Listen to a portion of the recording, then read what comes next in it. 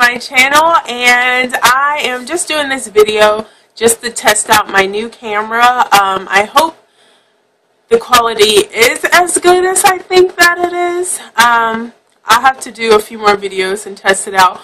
But um, let me know what you think. If it's good quality, thumbs up this video. Um, I wanted it to be a new camera for the new year. And um, as the title says, this video is about nail care. Um, sometimes I get compliments on my nails when they're longer because um, I I don't I don't know. I guess because some people have issues growing out their nails, and sometimes I do too. But I have done some things differently, and I wanted to share with you how I get my nails to grow. Actually, right now my pinky and my thumbnail on this hand broke off because I had acrylic nails.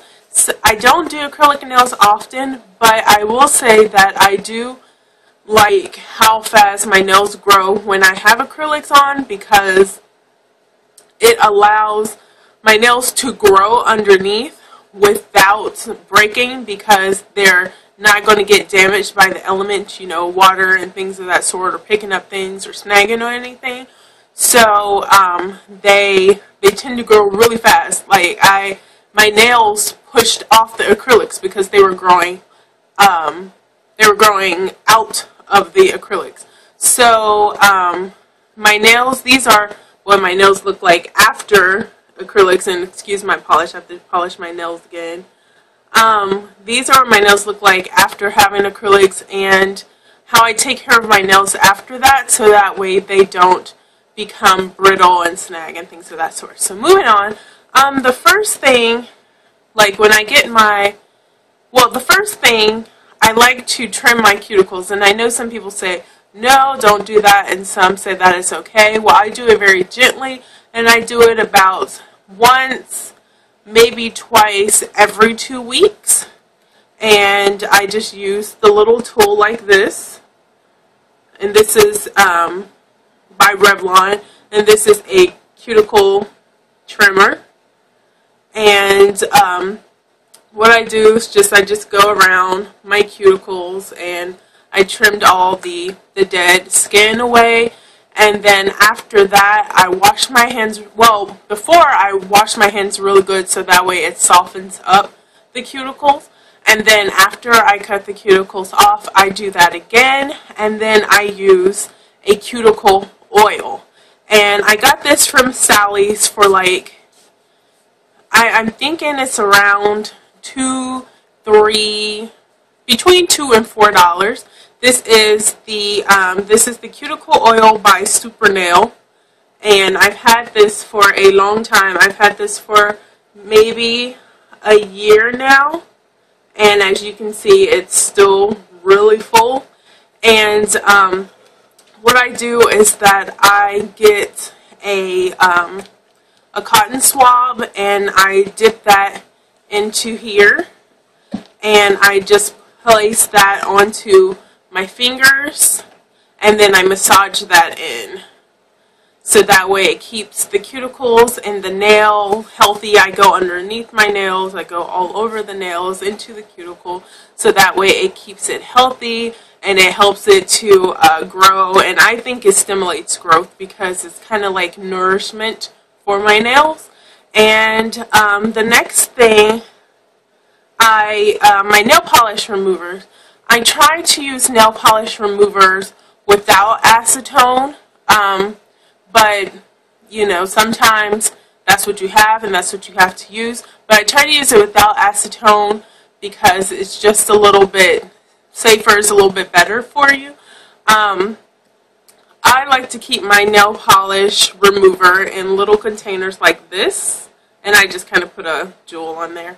But I got this one from Sephora.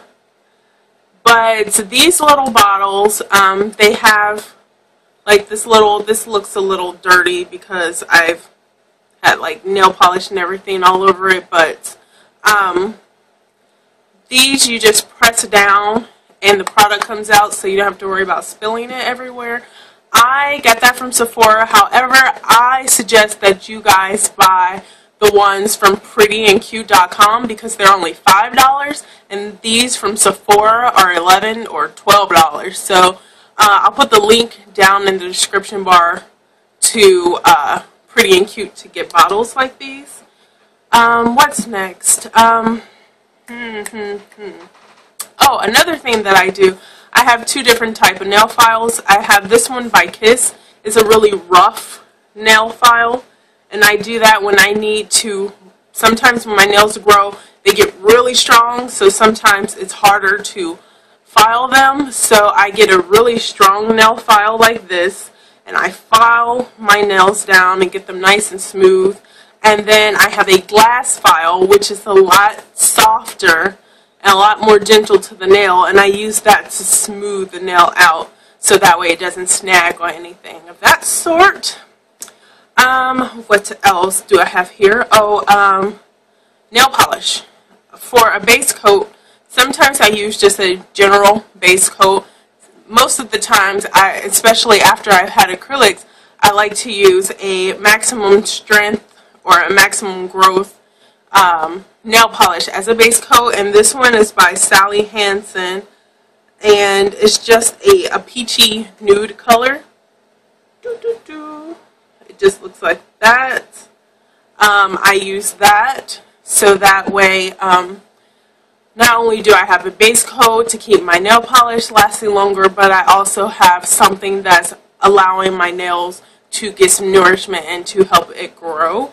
Um, also, on a daily basis, I use the Burt's Bees Lemon Butter Cuticle Cream. I use this to actually uh, moisturize my cuticles to, on a daily basis to keep them soft and nourished. Um, and also, I moisturize my hands a lot.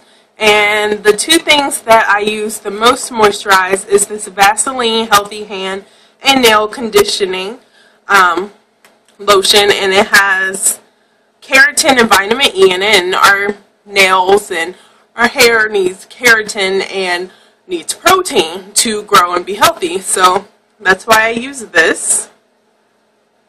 And I've used a lot, so it's almost time to get a new one. And I also use my hand cream, well it's not hand cream, it's a body butter from Sephora. And this is the Vanilla Cupcake Body Butter from Sephora. And I use that to um, moisturize all over. But um, I love using it on my hands because it melts smells, ooh, it smells so good. It melts in really nicely and it, um, it moisturizes really, really great. And so I use the whole technique. I use not only on my fingers, but I use the I use that technique on my toes as well to try to keep my nails healthy. So um, I hope this video was informative for you, and I thank you so much for watching. Please, again, let me know um, if the video quality is better, if you like it. Also, um, definitely leave me a comment down below if you have any suggestions on videos you would like to see. And I will see you soon in the next video. Have a nice day, guys. Bye.